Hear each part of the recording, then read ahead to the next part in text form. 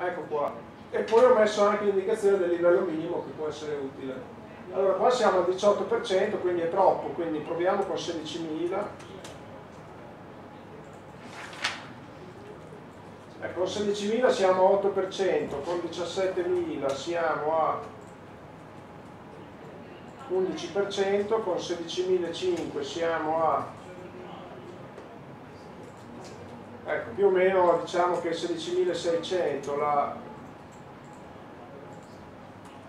16.600 dovrebbe venire come portata massima del prelievo. Ecco vedete che vi faccio notare un aspetto. Con un foglio Excel di questo tipo diventa veramente difficile lavorare perché se anche voi scrivete in una cella 2 più 2 e poi date invio, prima che vi dia il risultato, guardate quanti secondi passano, ne sono passati 4 o 5, però immaginatevi, forse meno, 3, però immaginatevi come si fa a lavorare con un foglio così, dove ogni volta che fate una piccola variazione dovete aspettare 3 secondi che ricalcoli tutto.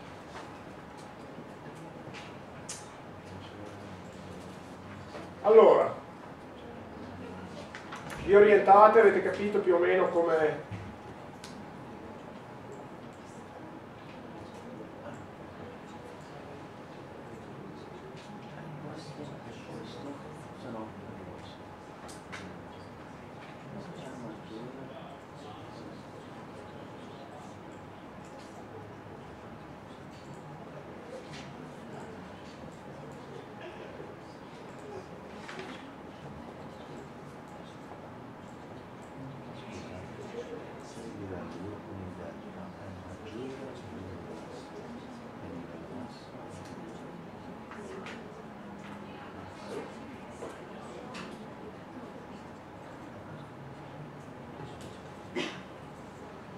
Allora, se avete capito più o meno come muovervi, io vi proporrei questo. Adesso io mi metto avanti con R e voi se avete delle domande, eh, mettermi avanti con R significa che vi devo togliere questo, cioè io lavoro su R intanto e a schermo chiaramente voi vedete, non vedete più il foglio Excel.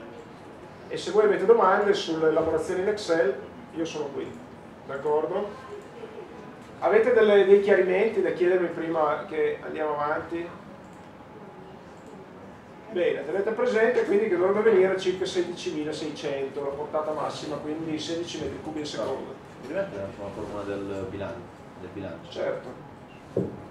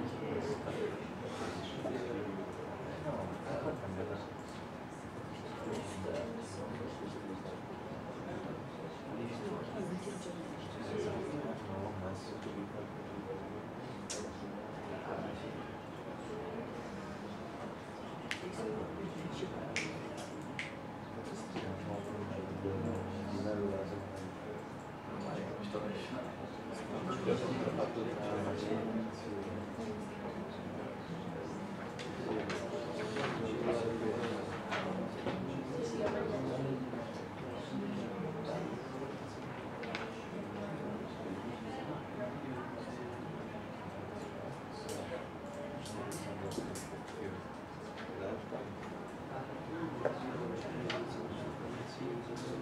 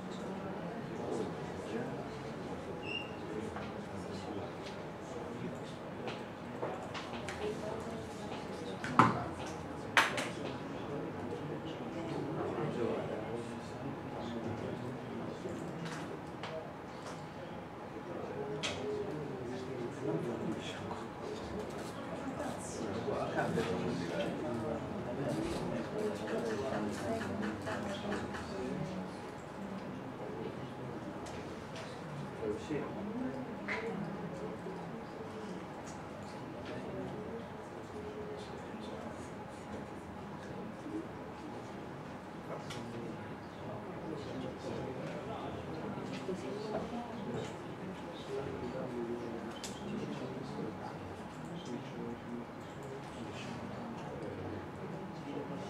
Sei.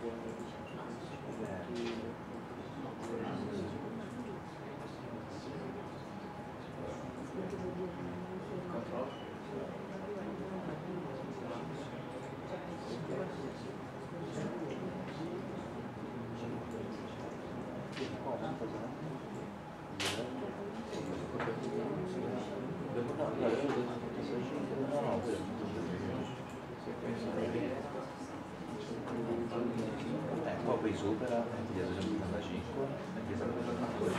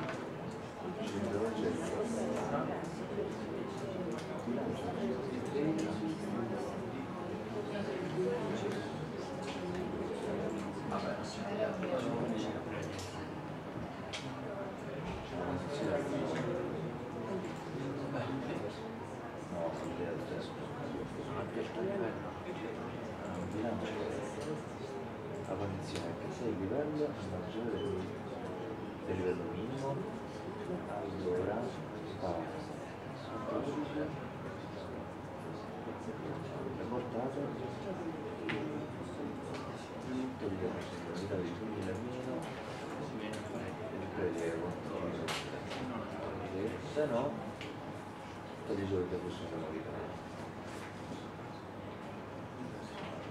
Qui. Bilancio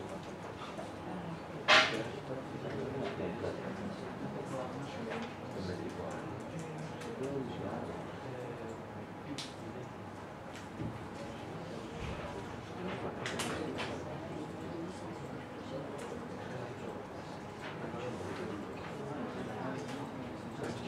Ah, il bilancio per 2006 per portare i figure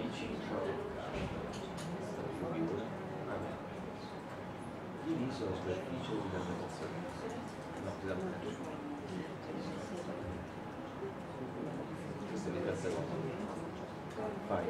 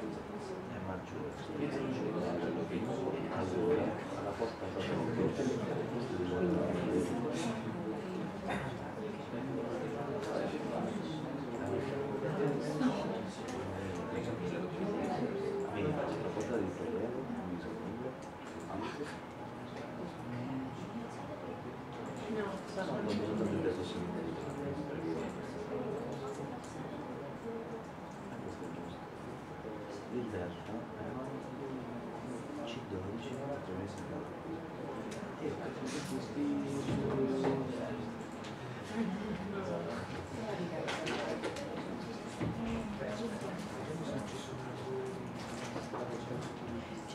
Zero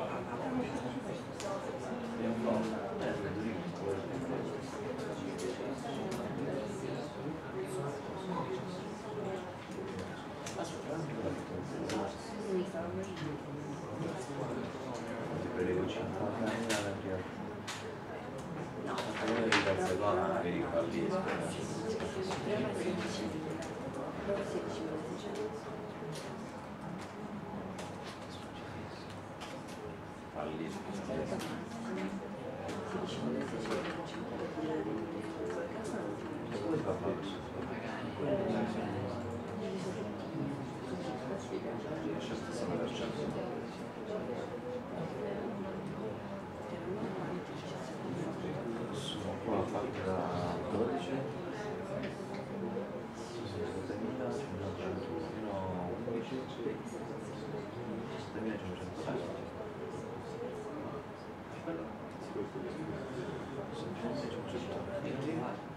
Il tutto è percettibile. L'area orizzontale è Grazie.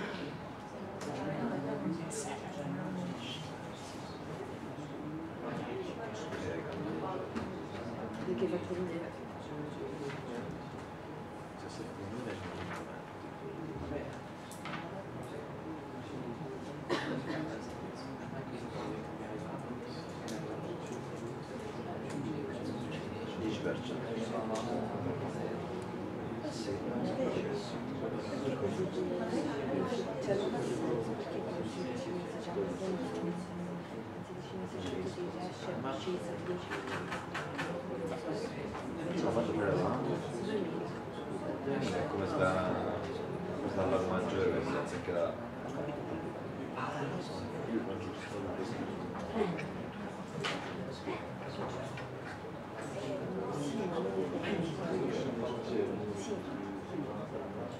că este bun.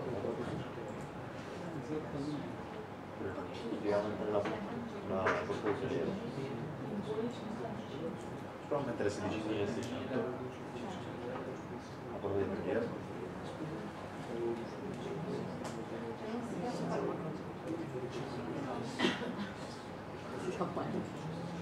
you.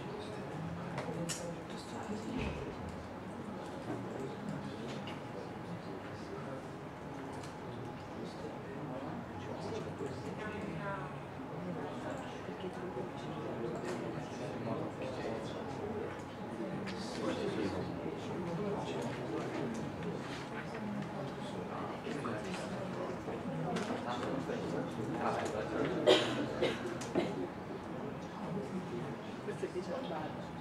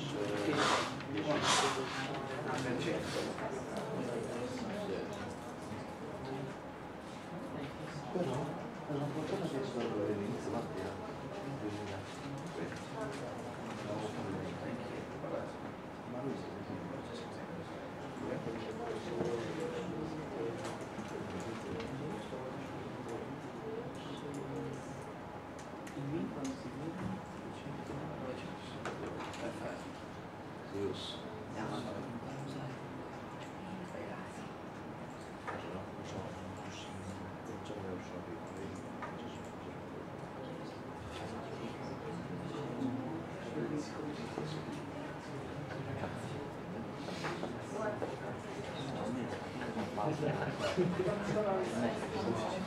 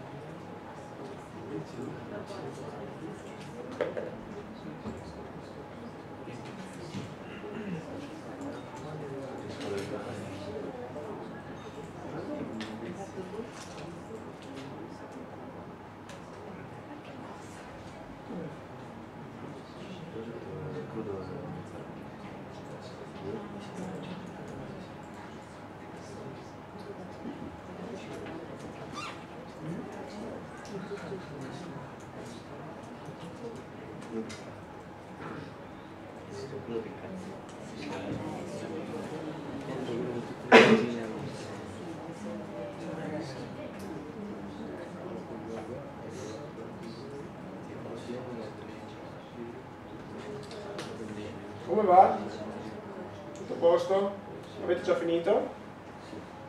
Eh, tutti? Mi, mi stupite. Qualcuno è... non è che vi stessi sottovalutando. Qualcuno deve ancora finire o vi torna il risultato a tutti? Molto bene. Allora, se siete tutti in pari, vi spiego il programma in R che sto facendo. C'è qualcuno che però non eh, ha bisogno ancora di chiarimenti sul file Excel, cioè su questo, attorno, attorno a lui.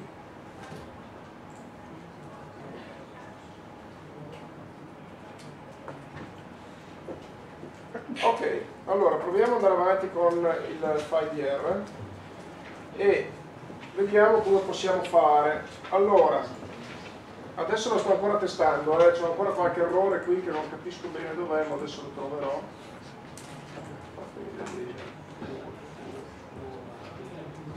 Direi che un attimo solo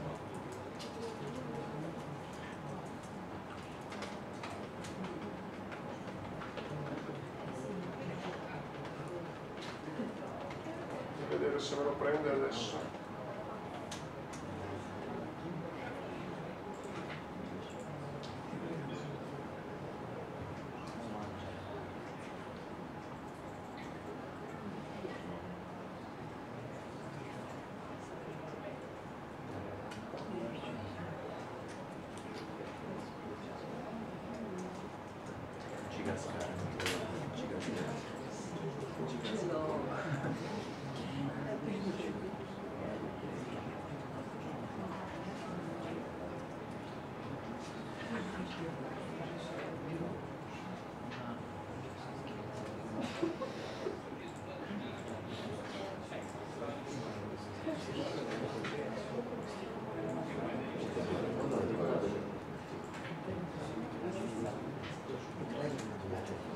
Ok, allora, la prima cosa da fare in R è caricare il, il file di portata. E quindi vedete qui ho messo uno scan di questo file che si chiama portate2.txt che voi potete ottenere semplicemente facendo, come vi ho detto prima, il copia e incolla dal mio website sul blocco note stando attenti, ma non dovreste, in questo caso non avete bisogno di cambiare il punto della virgola, perché R dovrebbe prendere automaticamente il punto, perlomeno in Linux fa così, spero che lo faccia anche in Windows. Mi confermate che Windows prende automaticamente il punto, no? Benissimo. Ecco, dopodiché ho pensato di scrivermi una funzione che calcola il numero di fallanze in funzione della portata Q in ingresso. E allora questa funzione praticamente mi dovrebbe consentire di fare ciò che fa il file Excel, cioè di procedere per tentativi e quindi variando la portata in ingresso calcolare appunto il numero di fallanze.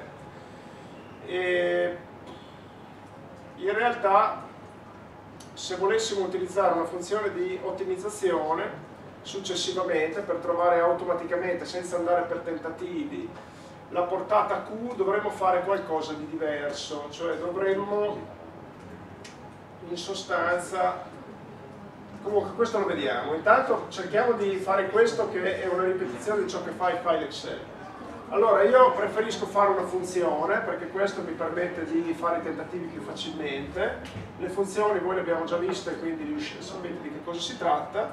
Ecco l'avrei scritta in questo modo. Innanzitutto bisogna definire le variabili quindi numero di fallanze uguale a 0 il numero di massimi inteso come numero di ore in cui il serbatoio raggiunge il livello massimo uguale a 0, poi c'è il livello minimo e il livello massimo, la superficie del lago e il DMV e poi c'è il livello iniziale 266 e poi eh, mi servono anche due variabili che sono il livello precedente e delta di livello che metto uguale a 0 tenete presente queste variabili a rigore avrei anche potuto non definirle. R come sapete richiede la definizione in anticipo dei vettori ma sulle variabili si potrebbe anche soprassedere io l'ho fatto più che altro per chiarezza Dopodiché, attraverso un ciclo, da 1 a 17.520, che sono le ore comprese, il numero di ore comprese nel nostro file, e attraverso questo ciclo mi vado a calcolare ad ogni passo temporale, come ho fatto in Excel, la portata netta in ingresso, il delta di livello e il numero di fallanze.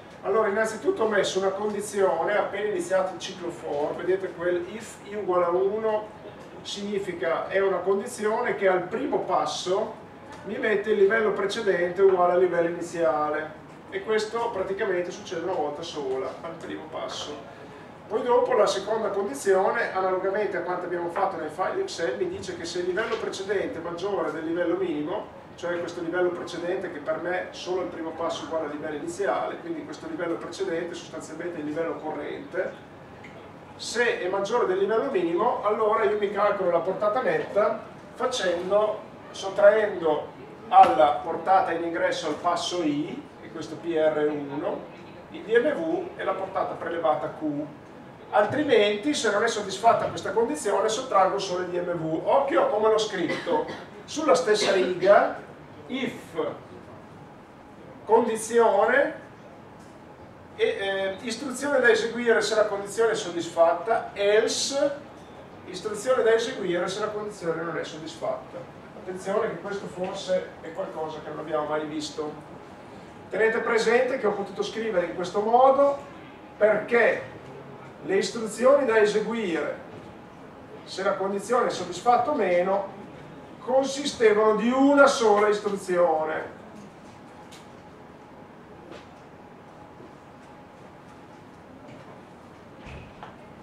Altrimenti avrei dovuto fare qualcosa di diverso che adesso vi faccio vedere.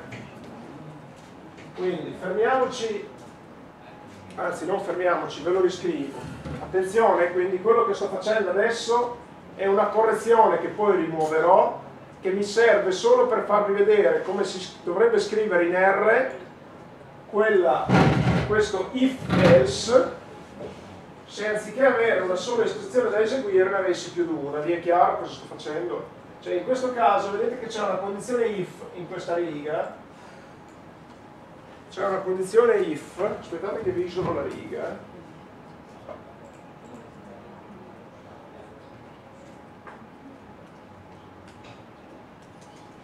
Allora in questa riga c'è una condizione if else, cioè un if condizione, istruzione da eseguire se la condizione è soddisfatta, else, istruzione da eseguire se la condizione non è soddisfatta.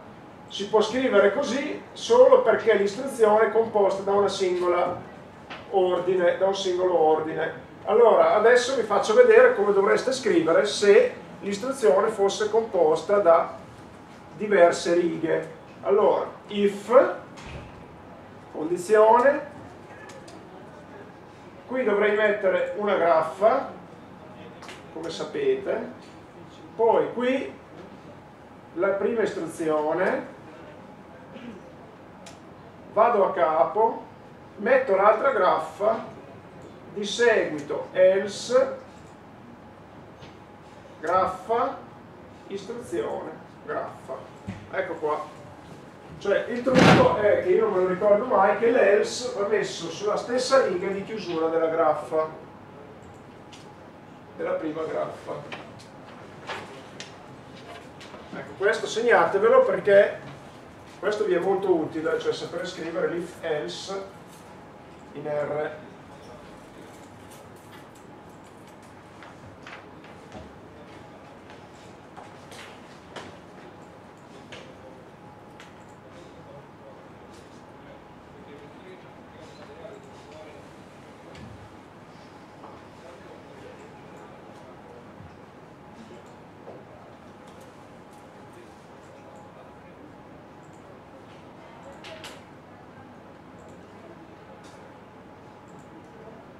siete pronti ritorno al file di prima. Allora vedete che questa condizione altro non fa che dire se il livello è maggiore al minimo io tolgo la portata prelevata se non è maggiore al minimo tolgo solo il DMV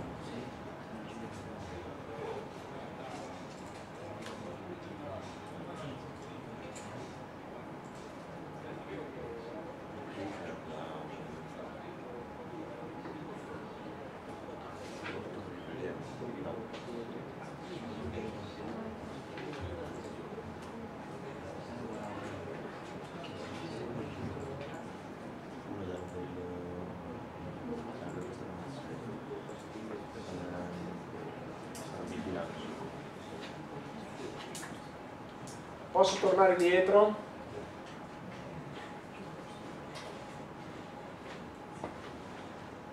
eccomi qua. Allora adesso andiamo avanti a partire da questa riga bianca. Allora a questo punto posso calcolarmi il delta di livello che è pari al QNet per 3600 diviso la superficie. Poi posso calcolarmi il numero di fallanze, aggiornarlo, quindi dico se il livello è minore del minimo allora il numero di fallanze lo incremento di 1, se il livello è uguale al massimo il numero di fallanze, lo- il numero scusate, di massimi lo aumento di 1 e adesso devo aggiornare il livello. Prima di passare al passo successivo l'ultima istruzione che faccio è aggiornare il livello. E quindi dico se il livello attuale che ho chiamato leaf prec più delta leaf è maggiore di 275 allora lo aggiorno il leaf prec uguale a 275 oppure se no aggiungo il delta di livello. È molto semplice. E a questo punto mi ripresento al prossimo ciclo if con leaf prec aggiornato e quindi sono a posto. Questo l'ho già caricata in R non so se funziona adesso andiamo a vedere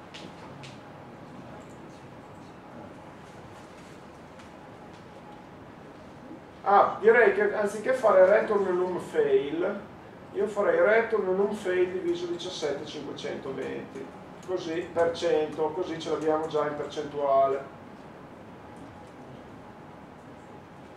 Adesso questa me la vado a copiare e a incollare in R. Allora, vediamo un po' se facciamo non fail di 16.600 vediamo se mi viene il 10% Eh, dunque qua ho fatto qualche errore. PR1 sì ho fatto PR1 con la rotonda e non con la quadra adesso lo trovo ma sicuramente è così eccolo qua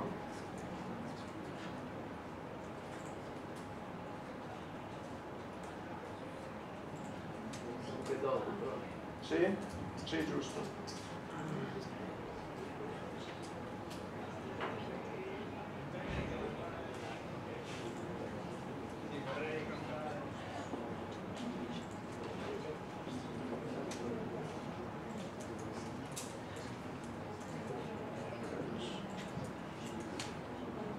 Sì, direi che ci siamo, forse non è esattamente uguale, ma